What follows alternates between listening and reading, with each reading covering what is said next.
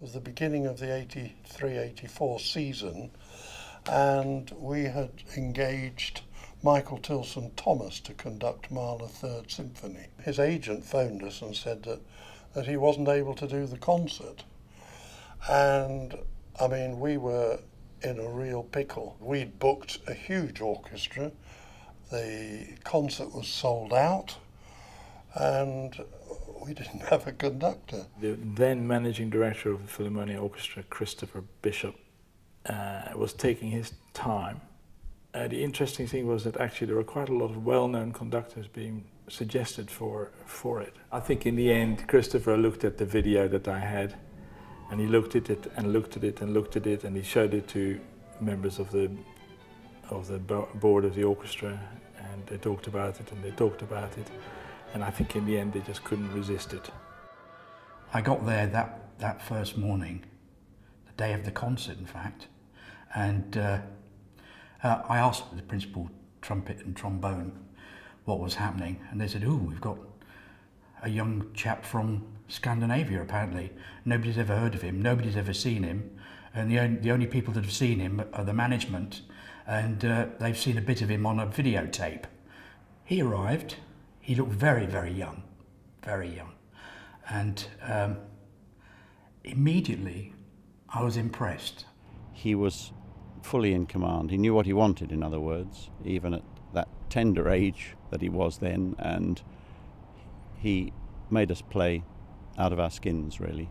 I'd been in the orchestra for about two weeks, and this was someone sort of my age who was actually standing up there, this incredible control of a symphony orchestra. If you look at it in, the, in cold daylight, actually it was an outrageous decision to make, which happened to come off very, very well. Because Esa Pekka just is extraordinary. And to cut a long story short, the concert was terrific. It was so exciting, and Esa Pekka was such a performer and it was marvellous and he got rave reviews in the papers. Oletko itse tyytyväinen tähän iltaan? Kyllä. His magnetism in concerts um, is, I think, obvious to audiences and, of course, to us. And his commitment both to us and the music throughout those concerts and the rehearsals is absolutely extraordinary. Uh, he's on our side, he helps us play. We're, we're all working in the same direction. He's simply a superlative conductor. He's got huge, innate musical ability, which is the cornerstone of everything, and doesn't accept the status quo. So you can work with him both as an artist that has an extraordinary relationship with the orchestra, but as an artist that's also really fascinated by where this art form goes. And for me, that's incredibly important because we have to remember that the symphonic canon and the orchestra is Western Europe's greatest gift to this planet, I think. And Salonen is at the heart of that. And he's concerned to take that forward, to rejuvenate, to reinvent. And that makes it an inspirational relationship for the orchestra and, of course, for me. Uh, this is not my analogy, but somebody said that Esa conducting us is like he's driving a really fast car through the mountains and trying to see what he can make it do. And that's what it feels like in the concerts, and it's just exhilarating to be part of. If you look at him conducting, he's so into it. He's sort of like in this trance like state.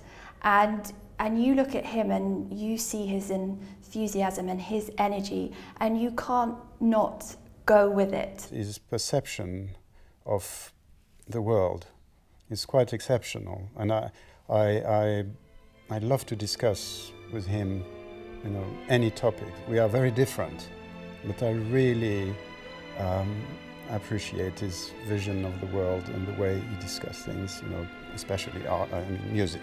Um, we, we don't necessarily have the same taste, but I always, I'm always interested in, in his um, vision and reading of, of things.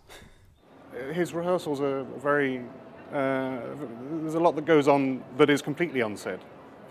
And he chips away at superfluous things to reveal whatever score we're working on.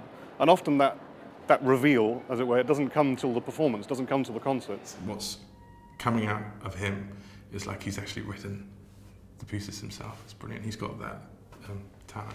But it's nice being a part of something that's where no one could possibly play an, a fraction louder than it is. You know, you look around and cymbals and brass and everything is going absolutely crazy.